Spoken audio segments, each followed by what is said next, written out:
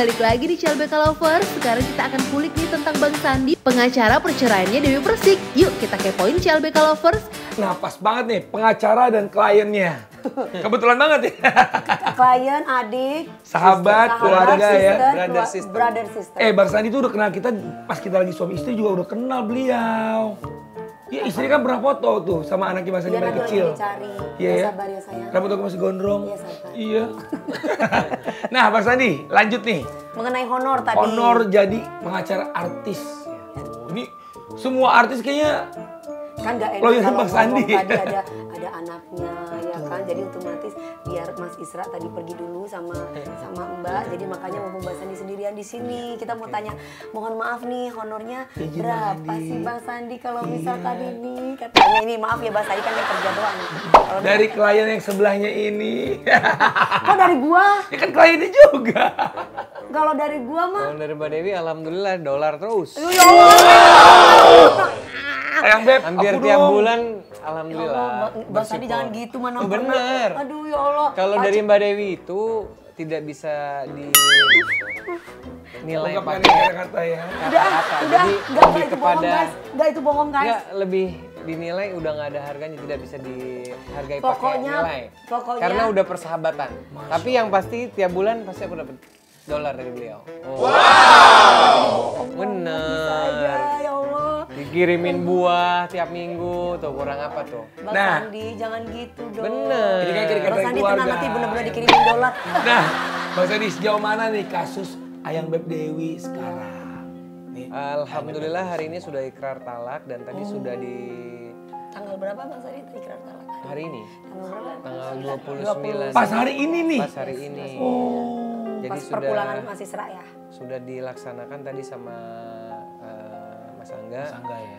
dan untuk mengenai yang lain-lainnya tinggal menunggu surat akte cerainya keluar nanti akan kami serahkan ke Mbak Dewi. Kalau izin Bang Sandi kalau ketok palunya sebelumnya udah dilakukan. Sudah, sudah sekitar eh, du- kurang lebih dua minggu lalu, kurang lebih tiga minggu lalu, tiga minggu lalu sudah ketok palu dan Ya, tidak ada pernyataan sudah berapa lama sih Bang Sandi Sudah hampir tiga minggu lebih ya? Tiga, Berarti hari ini Ayang Beb Dewi Persik sudah resmi jadi janda kembang ya? Sudah tiga minggu say baru tiga minggu sudah tiga minggu menjadi janda.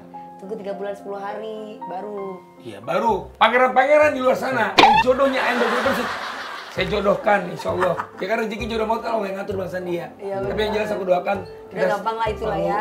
Sehat, gampang ya. menjaga silaturahmi dan Iya, betul. bahagia selalu buat kita Amin, semuanya. amin. Terus Bang Sandi, kira-kira mengenai kasus-kasus yang lagi beredar bahwa kalau eh, Mas dari pihak Angga sendiri akan akan terbuka dan meminta Ya. maaf itu gimana kan banyak banyak yang menanyakan mengenai kasus yang saat ini aku alami. Justru aku yang mau menanyakan adalah- itu Ayang Beb. Ya kenapa dari tadi nggak tanya? Iya makanya ini mau nanya. Salah aku. Ini kan kemarin Mbak Dewi pernah Ya kalau misalkan eh, ada permintaan maaf dan memang Ayang Beb Dewi ini adalah pemaaf. Pertanyaannya dia pernah nggak curhat sama Bang Sandi Nah. mengenai itu? Beliau pernah nggak curhat soal kepada Bang Sandi? Tanda tangan palsu dan juga eh, atas nama Budianto. Ya. Jadi sebenarnya dari waktu pada saat pertama kali cerita, memang beliau maunya membuat laporan polisi. Bunda Dewinya. Ya. Tapi karena saya pikir mereka ini kan dulu pernah saling bersama, saling sayang. Saya pikir kenapa nggak berpisah secara baik-baik. Tabayun, katanya. Tabayun. Jadi saya bilang gini aja. Terus beliau juga sepakat, Pak Dewi juga sepakat kalau misalnya dari pihaknya Mas Angga juga menyampaikan mengklarifikasi dan membuat statement permintaan maaf mengakui perbuatannya, saya rasa eh, Mbak Dewi juga sudah menerima. Terus saya tanya kembali lagi ke beliau, apakah mengenai kerugian beliau sudah ikhlaskan? Jadi lebih baik eh, Mas Angga sendiri kalau misalnya memang ada yang menurut pandangan dia dia salah ya silakan melakukan permintaan maaf, klarifikasi dan juga ya Mengakui mungkin mengakui semua gitu ya. perbuatannya itu aja sih. Kita Dengan adanya itu Mbak Dewi sudah memaafkan dan tidak akan meneruskan permasalahan ini ke jalur hukum dan sudah mengikhlaskan uang tersebut. Wih keren. Bisa cari udah lah ya, nggak usah dekat. Tapi yang penting aku juga nggak pengen cari musuh. Bang Sandi saya tuh enaknya bersama beliau tuh sama Mbak Eka juga itu selalu ngademin hati aku gitu, em, em, Mas Ali.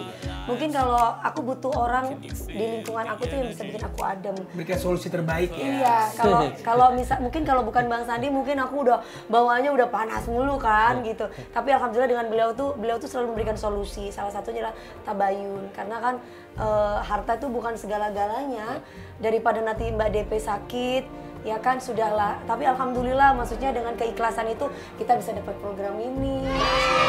Ya kan ini baru loh Bang Berkah, Sandi, berkah. Berkah silaturahmi, Bang Sandi. Iya, ini ini program CLBK ini baru beberapa hari, Iya. baru kemarin launchingnya, baru kemarin tayangnya ada dua hari. ya, ya panjang. Bang Sandi mudah-mudahan ini panjang, Amin. bisa di bisa memberikan value yang bagus. Bang Sandi, Yes. aku punya seru-seruan buat Bang Sandi. Iya. Bang Sandi mau tahu nggak seru-seruannya seperti apa?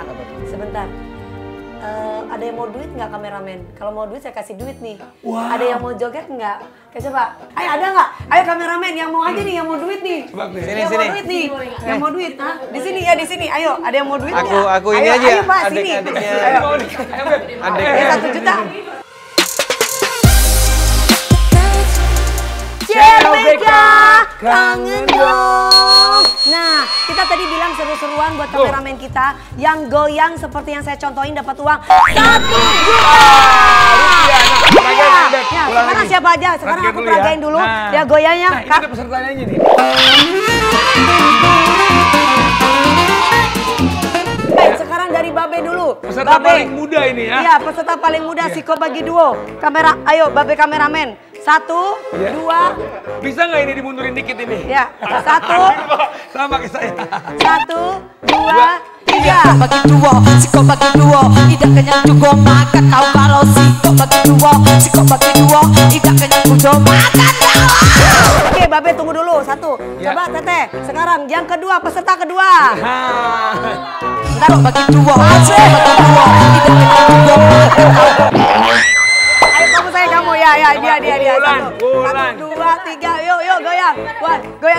tadi. Yuk. Siko bagi dua, siko bagi dua, tidak kenyang juga makan tahu kalau siko.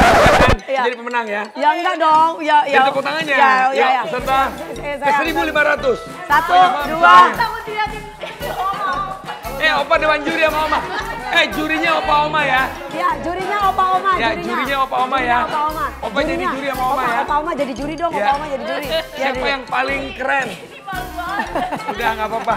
Satu, dua, tiga. Siko bagi dua, siko bagi dua, tidak kenyang juga makan tahu kalau siko bagi dua, siko. Sekarang yang pegang handphone. Yang pegang Ayo. handphone. Yang pegang handphone. Yang Ya. pegang handphone. Ayo. Satu, dua, Ini adalah penarinya Agnes Monica. Siko bagi dua, siko bagi dua, tidak kenyang juga makan tahu kalau siko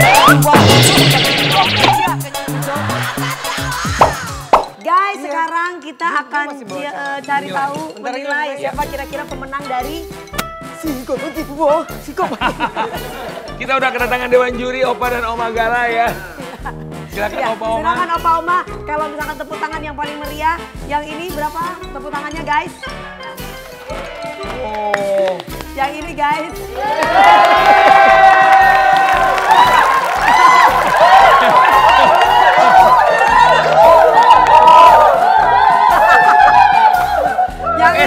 Guys. Bang lu bawa masa bang? Yang ini, yang ini guys. Enggak tadi bagi-bagi nih bagi-bagi. Yang Mbak Yang siapa. Mbak? Mbak Ulan. Maulan, Maulan. Mana? Siva.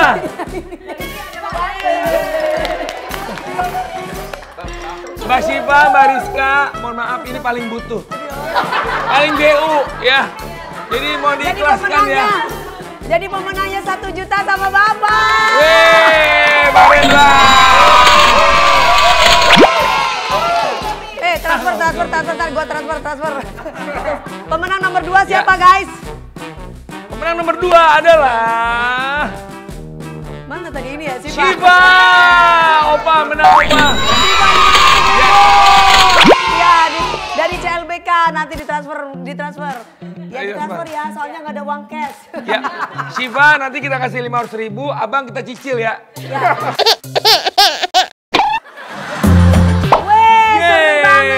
Pokoknya buat tadi banyak-banyak kisah inspiratif banget, terutama tentang Mas Isra dan mungkin anak-anak muda yang lain yang pastinya melakukan tindakan-tindakan positif. Ya. Karena usia muda itu pastinya aset, ya. aset yang pastinya dipergunakan sebaik-baiknya agar kita di usia tua bisa melahirkan aset-aset muda selanjutnya. Tetap di CLBK, angin dong di TV milik kita bersama.